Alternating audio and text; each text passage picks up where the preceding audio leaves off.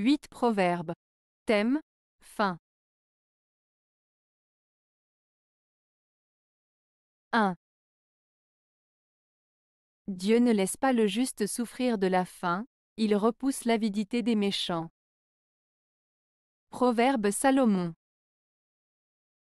Ce proverbe de Salomon signifie que Dieu veille sur les justes et ne les abandonne pas à la souffrance de la faim.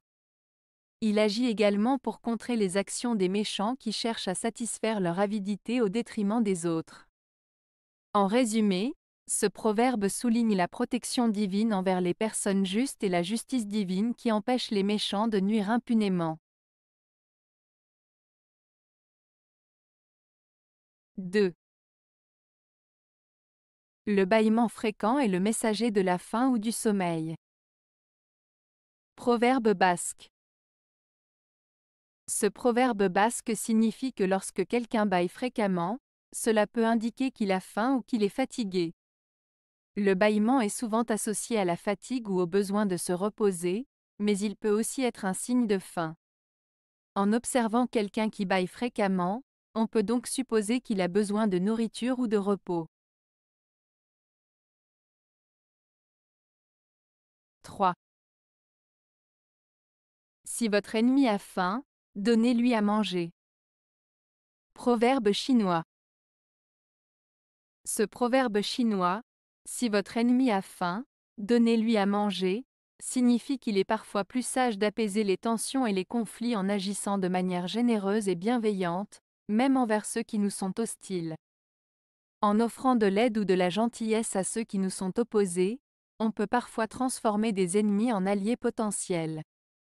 Cela souligne l'importance de la compassion, de la compréhension et de la générosité, même dans des situations de conflit. 4. La faim trouve à passer à travers les murailles. Proverbe anglais. Ce proverbe anglais, la faim trouve à passer à travers les murailles, signifie que lorsque quelqu'un a vraiment faim, il trouvera un moyen de se nourrir, peu importe les obstacles ou les difficultés qui se dressent sur son chemin. Cela souligne la force de la nécessité et de la détermination face à l'adversité. C'est une façon poétique de dire que rien ne peut arrêter quelqu'un qui est vraiment motivé et déterminé à satisfaire un besoin essentiel comme la faim. 5. Celui qui ne voulut pas faire dans son champ les semailles, de peur des oiseaux, se laissa mourir de faim pour le plaisir de les faire jeûner. Proverbe basque Ce proverbe basque signifie qu'il est important de prendre des risques et d'agir pour obtenir des résultats. Si quelqu'un refuse de planter des graines dans son champ de peur que les oiseaux les mangent, il finira par mourir de faim par manque de récolte. Cela souligne l'idée que parfois, il faut surmonter ses peurs et prendre des initiatives pour atteindre ses objectifs, même si cela comporte des risques. 6. La faim ôte l'envie de danser. Proverbe danois.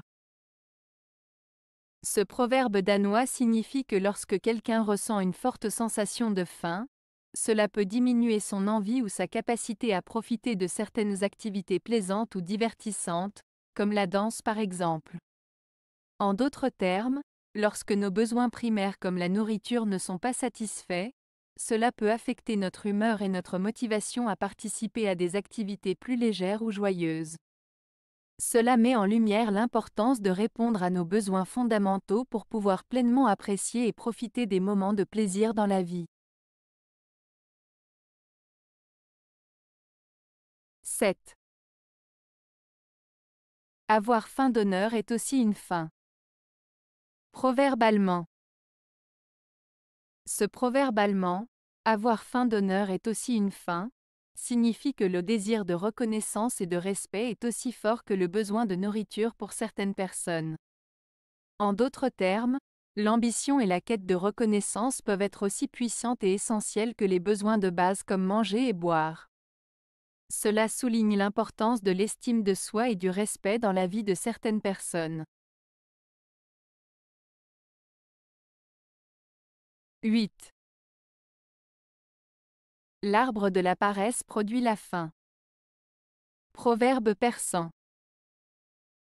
Ce proverbe persan signifie que si on est paresseux et qu'on ne fait pas d'efforts pour travailler et produire, on finira par souffrir de la faim.